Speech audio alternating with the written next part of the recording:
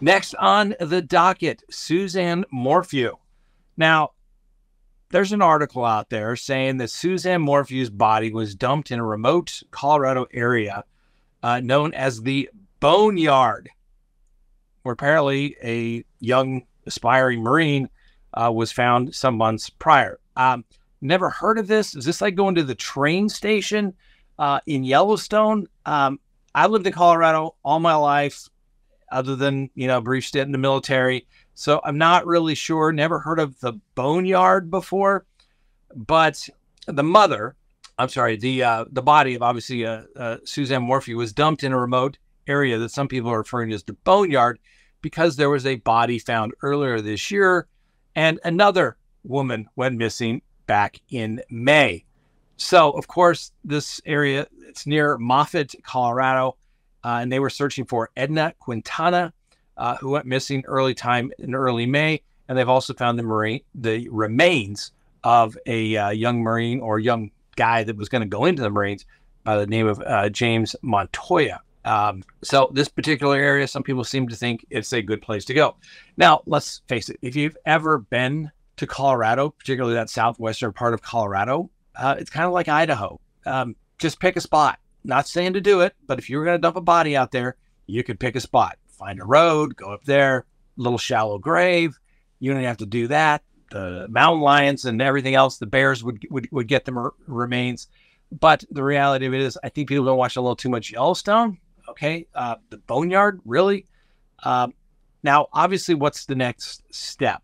The family has issued a statement. Um, when I say the family, you got the family of Suzanne Morphew, her sister and brother. Uh, then you have uh, the family of um, Barry Morphew and his daughters issuing a statement saying how disappointed they are that uh, the remains of Suzanne uh, was found because they thought that she was actually coming home. I told you, uh, I'm not sure. Let me know if you think you believe that particular scenario, if you ever thought it was going to take place. But let's face it, Suzanne Morphew did not ride her bike, fall down a hill, get dragged by mountain lions some 50 miles away, and then placed in a shallow grave only to be found three years later. Now, obviously, something nefarious, foul play has taken place.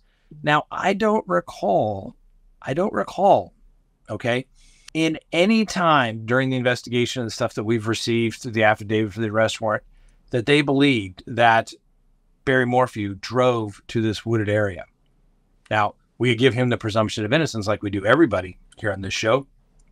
And they're entitled to that presumption of innocence unless and until they are convicted or they plead guilty in a court of law. But in this particular case, I don't recall anything saying that Barry was in that area. So I don't remember anything that says that Barry Morphew was there. So the question is, was it somebody working with somebody that didn't like Suzanne Morphew? I mean, he, she had a boyfriend, she had a husband. We also know that there was some DNA found in the car that came back to a sex offender from Arizona. I don't know.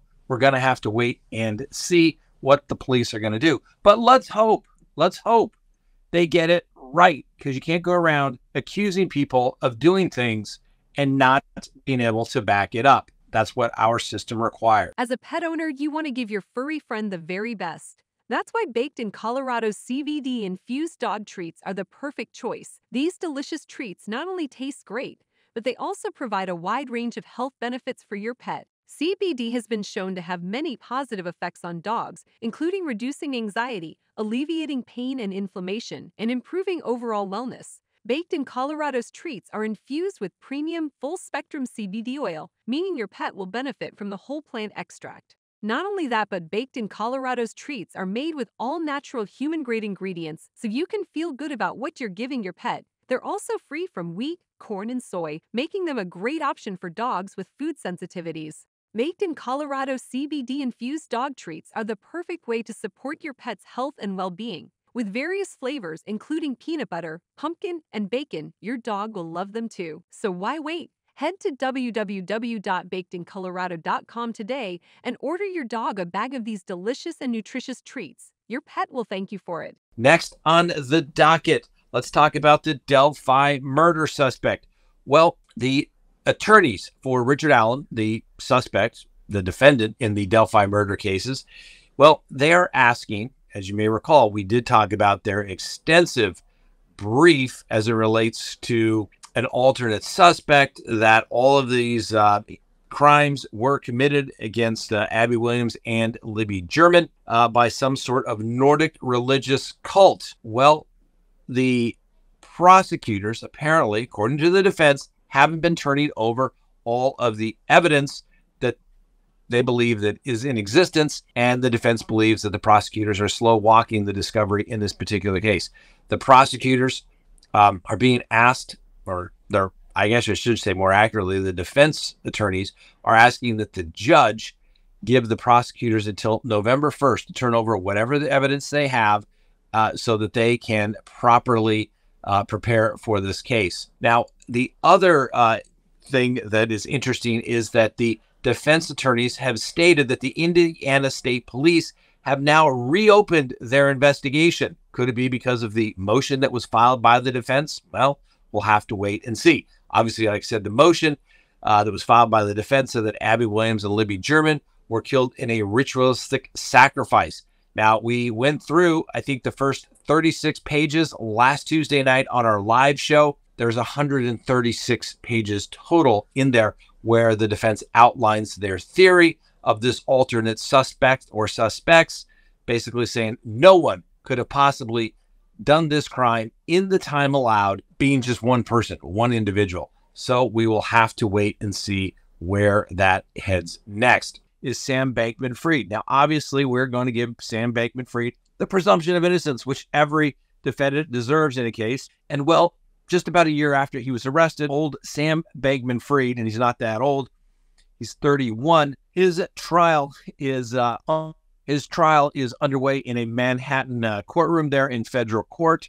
Now, obviously, he's accused of uh, embezzling funds from FTX customers and funneling that money to a hedge fund that he allegedly controlled and made some um, illegal exchanges between himself and other uh, companies. Anyway, uh, obviously, trial prep was a little bit uh, chaotic for Sam Bankman Fried because he got his bond revoked and had to prepare for the last uh, month or so in custody where he didn't have access to all the records. And obviously, the preparation time is much more difficult uh, when you're preparing a client in custody, particularly when you're looking at spending 115 years in prison. You like to be prepared. Now, Sam Bankman Fried has ditched his uh, big bushy hair that he was known for and um, apparently wanted to look like a civilized human being when it came to trial. And he uh, cut his hair uh, and uh, actually combed it. So he's got that going for him. Now, the thing I want to really talk about this is the fact that the case is literally ready to start uh, because jury selection in federal court is very different than it is usually in state court. State court, the judges let you talk to the jury, you get an hour, you get to do whatever. In federal court, the judges do most of it. You, the defense has to submit questions if the judge is either going to ask the questions for the attorneys or basically approve their questions that they get to ask uh, for the jury. And in this particular case, the uh, potential jurors are going to be asked questions regarding whether uh, they've had any issues with uh, Bitcoin. Did they think that it was basically a scam? Um, you know, what are their experience uh, with it? The point is, it moves really fast. Let me give you an example of the jury selection process um, when I did one of my first federal trials uh, about 23 years ago. All right. The judge did all the general questions. You're a resident. You do, you know, you can read, speak, and understand the English language. Yes, yes, yes. Give every side the presumption of innocence. Yes, yes. Everybody nods their head. And the first juror, the judge points at him and says, You can be fair and impartial, can't you? And the guy says, Yes, Your Honor. Fine. Good to go. Next juror anything, any reason why you can't be fair and impartial to each party? Is if I order you to be fair and impartial? No, sir. Boom. Uh, jury selection took all of about 30 minutes. So big difference in state court. That's why these cases are moving uh, so quickly. Uh, as and a case that of this nature, a year out, and it is already at trial. That's the way things normally go in the federal system. Lori Vallow has a new attorney, and he has filed an amended notice of appeal. Now, as you know, anyone's convicted of a crime in a criminal court in the United States has a right to an automatic appeal. And obviously, Lori Vallow is going to do that. Now, the preliminary statement in the amended notice of appeal remains the same.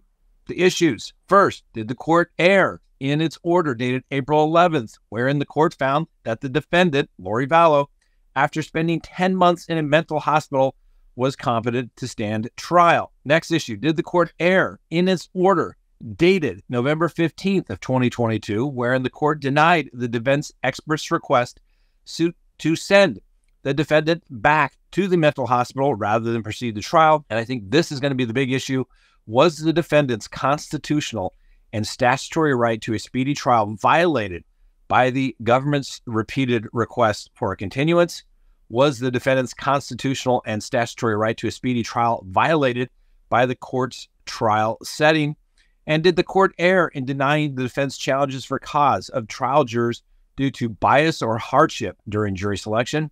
And did the government commit fundamental reversible error in its opening statement to the jury? Did the court err in allowing the government to produce evidence of other crimes or acts against Lori Vallow under Rule 404B? That's the evidence of other crimes, wrongs, or misconduct. And in this particular situation, constitutionally, if Lori Vallow wins, the case is probably dismissed against her. The evidence about all the other stuff coming in to show some sort of uh, pattern, absence of mistake, modus operandi, uh, that's where courts get in trouble.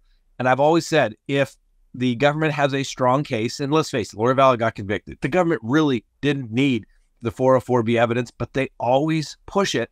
And that's usually why it comes back.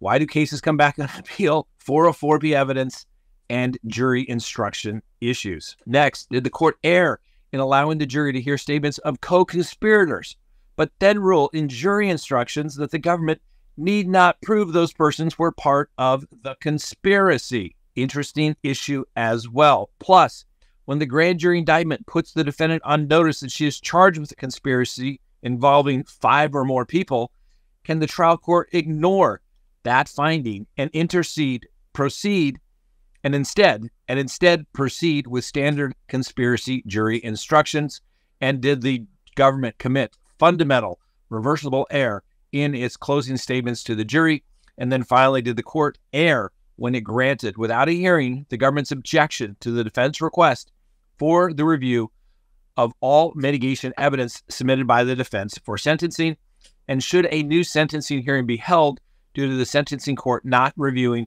all the mitigation evidence submitted by the defense? And then, did the sentencing court abuse its discretion by ordering the defendant to serve three consecutive fixed life sentences without parole? And did the sentencing court abuse its discretion when it ordered the defendant, who had been found indigent, qualified for a public defender, and had just been ordered to serve life in prison without parole, to pay $165,000 in fines and court costs? Now, they also when they did the notice of amended appeal, they had to put in all the court dates beginning back on May 26 of 2021, and they had to indicate who the court reporter is. So, who is this new attorney? The new attorney is a guy by the name of Craig Durham. Now, he is licensed to practice in both the state of Idaho as well as the federal courts there in Idaho, uh, specifically the Ninth Circuit and the United States Supreme Court. His current practice focuses on civil litigation and all phases of criminal defense, including trials, appeals, post conviction parole, and habeas corpus matters. Let's face it, he is an appellate guy. Most appellate guys really usually smart. And this guy, Mr. Durham, he was a staff attorney at the U.S. District Court in Boise for 10 years, and he worked closely with the federal judges on death penalty matters as well as prisoners' civil rights cases.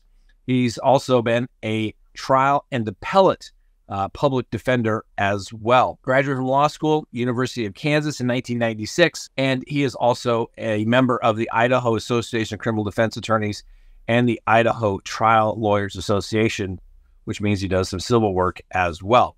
So, smart guy, gonna take on the new uh, role as Lori Vallow's new attorney. Now, remember, on appellate cases only matters what is on the record, what has been submitted to court, what has been admitted into evidence. All the other stuff that you hear about on the evening news doesn't really matter. Only what's in the record. And why that is that significant? Oftentimes people think, well, I want to supplement the record. This didn't get in.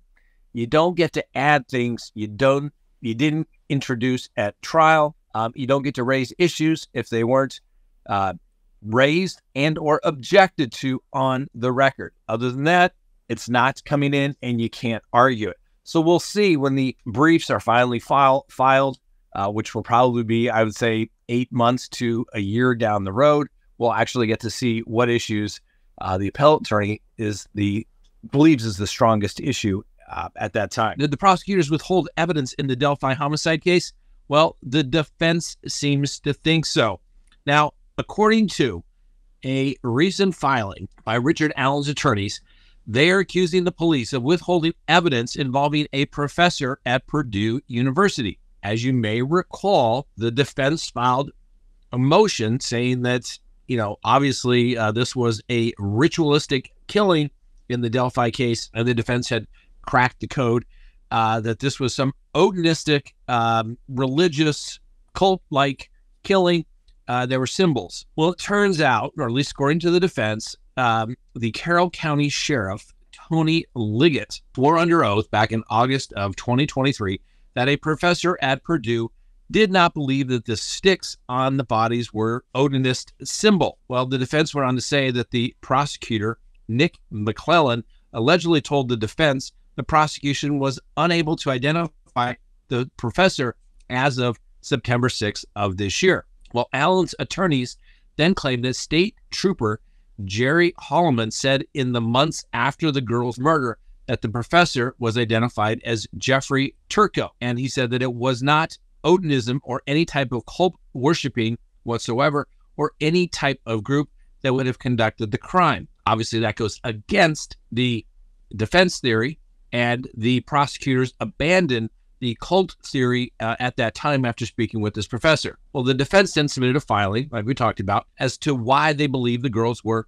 uh, ritualistically sacrificed back on uh, September 18th. The next day, the defense claims that Holeman was able to find the Purdue professor and interview him. Holeman says he allegedly said he was working to set up the interview with Turco for several weeks, despite defense claims that it would have coincided with the same time that the prosecution claimed that they could not identify Turco. Now, the defense says there is a taped statement from Turco saying it was a given that the pattern of sticks found at the crime scene was someone trying to replicate Germanic runic script. Now, Turco went on to uh, bring in outside counsel from Harvard University who agreed with the deduction.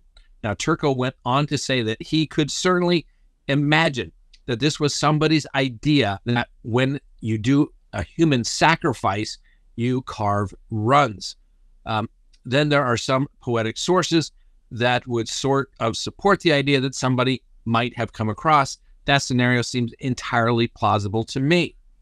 So there you go. Who knows? The defense claims that the prosecution has sent countless hard drives, flash drives, and disks with hundreds of pages of paperwork between September 8th and September 27th.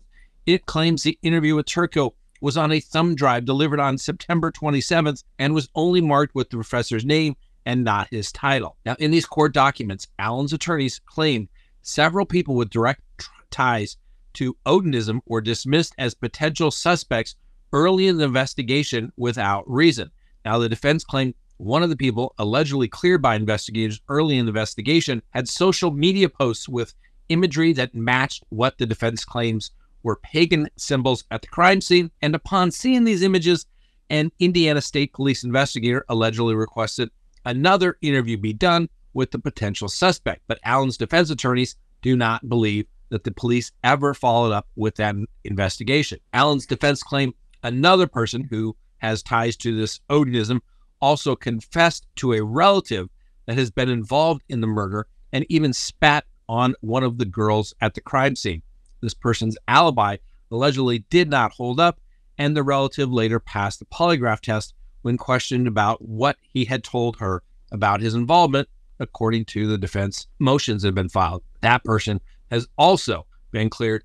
And of course, Allen's attorneys claim that he is being used as a scapegoat to get a arrest right before the sheriff was due for, ladies and gentlemen, if in fact that was withheld uh, it certainly makes the prosecution look somewhat not great. But as we've seen, when you get small town jurisdictions with huge cases like this, they have document management issues. When you have a large case like this, whether it be on the prosecution or the defense, you literally have somebody that is responsible for indexing and sorting all of this discovery so you know what the heck is in the discovery and where to find it and what is what are they talking about so that you can reference it. Half the battle in these big cases is simply being able to find the information that is there. We'll see how that goes.